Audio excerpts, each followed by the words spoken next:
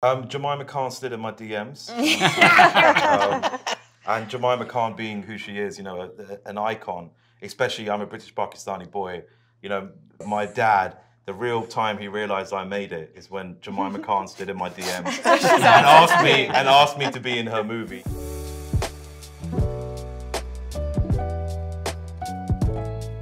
I'm getting married. You are? Who's the lucky lady?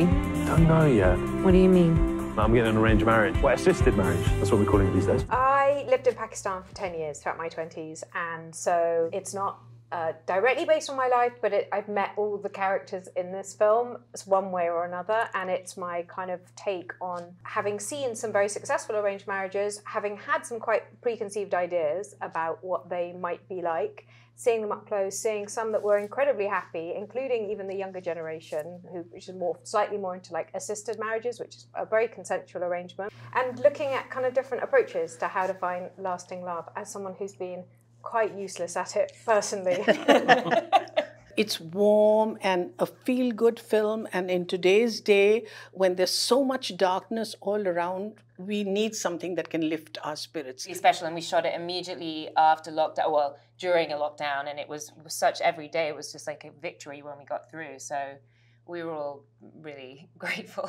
the script was so real, I could really relate to it, being, you know, of my age and my generation about trying to find love and disillusionment with love and then arrange marriages and sometimes you know you have to hand it over to the parents. How do you feel about possibly moving to london? She's fine with it. It's a very multicultural place I just thought I must do this. This is something so special.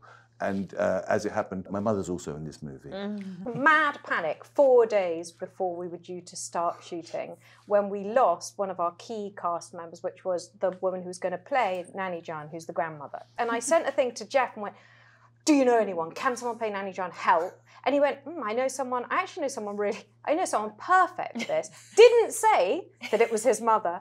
And then this woman arrived on set and was an absolute sensation. And only then did he say, actually, she's my, she's my mum. She'd never acted before. Wow. and she was brilliant. Yeah. I think what is happening now as the world shrinks and becomes a global village, we are recognizing that cultures need to be understood in their own terms mm. rather than the spotlight from the West on the east. And I think that's what the film does. It doesn't take sides. It doesn't say one is better than the other. It shows you both and you choose. And I think that's that's where she's been really brilliant in the way she's portrayed it. A very common complaint that I used to hear when I was living in Pakistan was that films in the West only show Pakistanis as terrorists or mm. suicide bombers or fundamentalists or you know, in a in a kind of backwards, sort of unaspirational way, and that's why it was really important to cast the beautiful Shabana, where she's Shabana, and um, you know these a, a, completely a completely different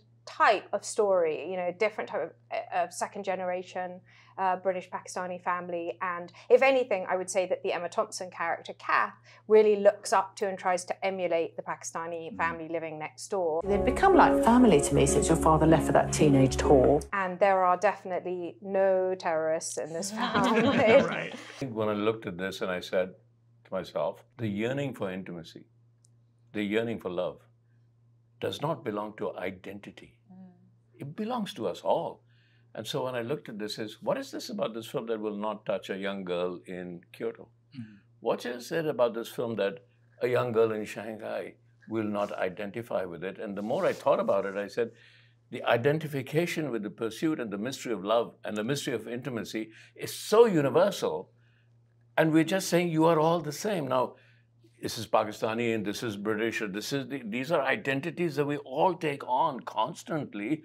But the search for who we are, the search for identity, the search for finding a way to be intimate with each other, it is represented in different ways, but all over the world, that's what it is. We have to just recognize that we have to drop the word I for identity, mm. and we have to take the word we for community, mm-hmm. and then we're all the same. How do I find love?